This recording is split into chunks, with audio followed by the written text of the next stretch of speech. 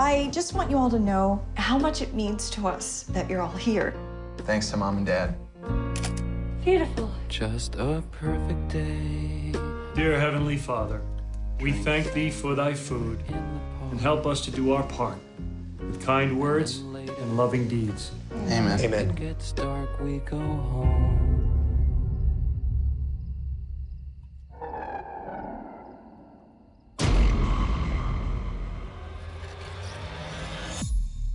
dark, we go home. What is that?